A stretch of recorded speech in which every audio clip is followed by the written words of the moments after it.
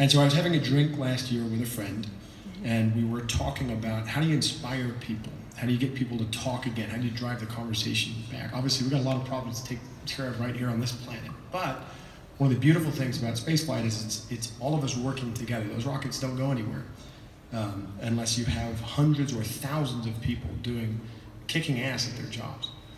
Um, and we were trying to think of an image, something to sort of shock people into looking and thinking um, about this again. Um, what we came up with was red sports car um, and, uh, and a David Bowie song. Uh, my friend Elon, who's with us here today.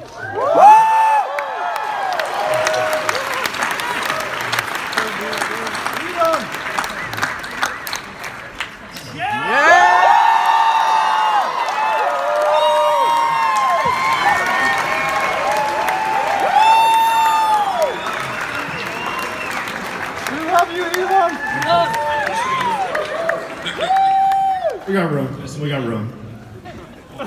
no, we love you. There's a larger mission, and uh, I'd love if you talk a little bit about it. Yeah, sure. Uh, I'll, I'll um. Um, yeah, so as, as Jonah was alluding to, there, there are a lot of negative things in the world. There's a lot of terrible things that are happening all over the world, all the time. Uh, there are lots of problems that need to get solved. There's lots of things that are, yeah, that are miserable and kind of get you down. But that life cannot just be about solving one miserable problem after another. Can't, that can't be the only thing. There need to be, need to be things that inspire you, that make you glad to be to wake up in the morning and be part of humanity. That's why we did this. Called Tsiolkovsky, one of the early Russian rocket scientists, the great saying, Earth is the cradle of humanity, but you cannot stay in the cradle forever. It is time to go forth, become a star-faring civilization, be out there among the stars, expand the scope and scale of human consciousness. I, I find that incredibly exciting. That, that makes me glad to be alive. I, I hope you feel the same way.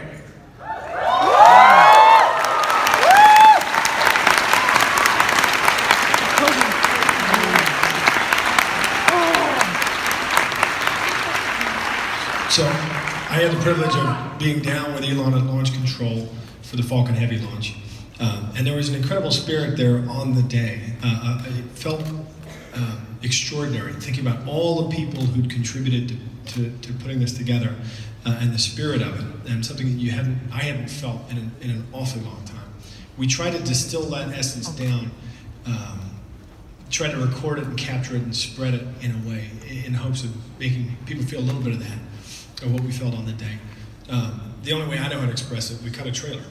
Um, it's not a trailer for a movie, it's not a trailer for a TV show. What we're hoping this is the trailer for one part of the next chapter of the human story.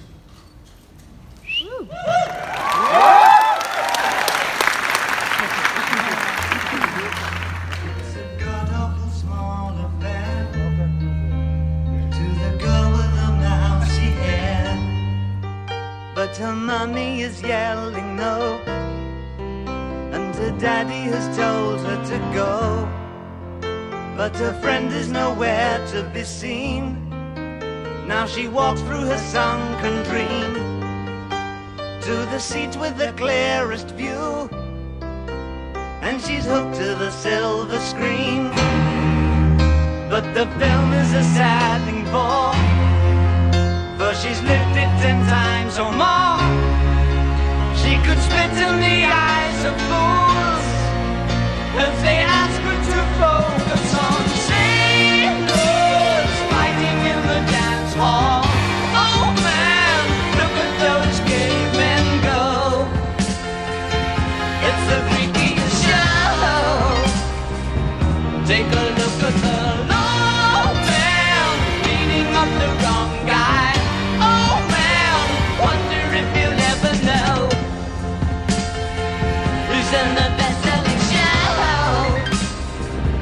Is there life on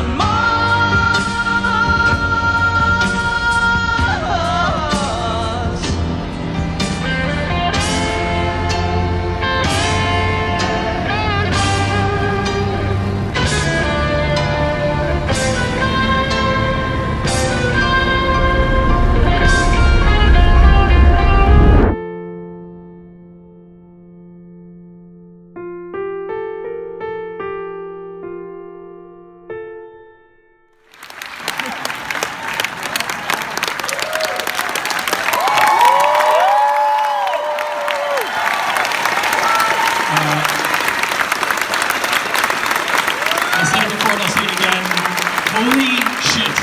Thank you for an amazing panel. everyone. thank you so much.